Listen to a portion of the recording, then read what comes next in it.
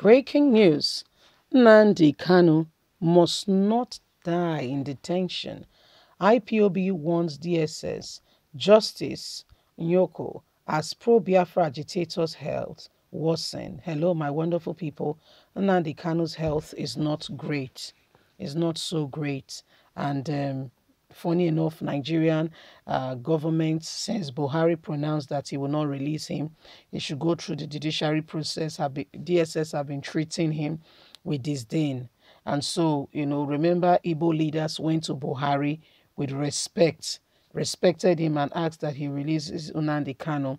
He promised them he was going to look into it. But after consultation, you know, with some of the people you thought, okay, uh, funny enough, most of them do not, you know, share Nnamdi Kanu's plight. And they told Buhari that he must not release him, he must go through the judiciary process. And I really wonder what the lawyer is judging because, to be quite candid, Nnamdi Kanu calling for self-determination is part of our, is part and parcel of our, of our very, the, the fraudulent constitution is there. At least we don't have another one now. That is the one we have is engraved and is enshrined in the in the you know in the current constitution. But guess what? They decide to put on the Kanu Sunday Igboho where they are. Let's get all the details. The group has called on President Muhammadu Buhari, the DSS, and the Justice Unyoko, who is the who is in charge of Nnamdi Kanu's case, that he must not die in custody as his health deteriorates. Nnamdi Kanu has been in custody since June last year and has been tortured and put in, solid, in solitary cells. Speculations under speculations has said he has been treated inhumanly. Section 2 of the Anti-Torture Act of 2017, which of which offers 20 which uh, which attract 25 years imprisonment by any government official security agencies who does that to people clearly states in Nigerian constitution that no one in custody awaiting trial should be tortured and treated the way Nnamdi Kanu has been treated. The indigenous people of Biafra has accused Justice Binta of the Federal High Court of conspiring with the Department of State Services to put its leader, Mazi Nnamdi Kanu, in solitary confinement.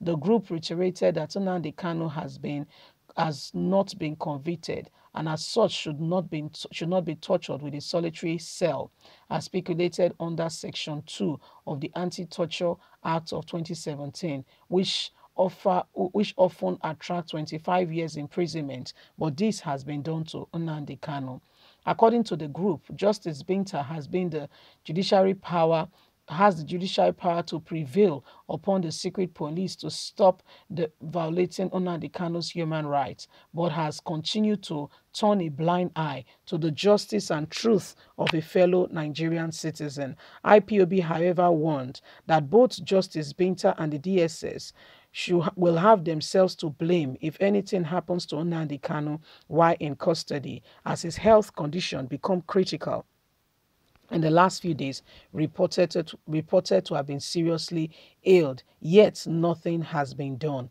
In a statement by the Media and Publicity Secretary of the group, Emma Powerful, on Wednesday, IPOB said we have global family of the indigenous people of Biafra, which are led by great leaders. And Nnamdi Kanu must not be treated like a common criminal. He is not a common criminal. He's not a terrorist. He's only asking for self-determination. This must come to an end. So Nnamdi Kanu, the way he's being treated and all that is currently happening to him must not continue, you know, because we know that um, Nnamdi Kanu has not committed any form of offense or crime. Nnamdi Kanu is not the person that should be treated in such a way or in such a manner. He has not offended anybody. You know, he has not, I mean, it's, it's bad that it's bad enough that those in, you know, that are supposed to be in the place of authority have not done anything worthwhile other than, you know, you as the, as the, as the chief judge in charge of the case should understand that there are perils and there are jurisdiction on how this person should be treated. Nnamdi Kanu and Sunday Igboho has constantly been in detention for no just cause. Those that should be there have not been there. Those who are really committing crime and atrocities have been left to roam free, while Nnamdi Kanu, Sunday Igboho, who are speaking for the people, and that's my that's where my question comes in. Yeah, that's where my serious question comes in. Now let's look at all those okay that are in leadership in one form or the other, starting from the vice president. Okay, you may not believe. I mean, again, there's what we call freedom. You may not accept. You may not want this, you know, Nigeria to be divided. It's fine. Nobody's asking anybody to, you know, to follow another man's, you know, uh, intuition with regards to this ground. But you can see that this man, the, you know, the, the way he's being treated is not according to the law. So long as you can establish the truth that this man is being treated as a common criminal, is not being treated, you know, the way he should be, I believe that immediately something should be done. And you should speak out. Because the truth of the matter is, anyone that knows the right thing to do and does it not, to him is a sin. It's not just a sin, but you that know that something is wrong and you've not carried out your investigation, you turn a blind eye.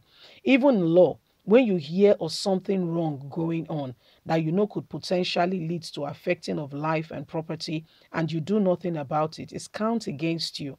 They, they just call you an accomplice and say, ah, no, I did not do anything. No, you had a knowledge of it, but you did nothing about it.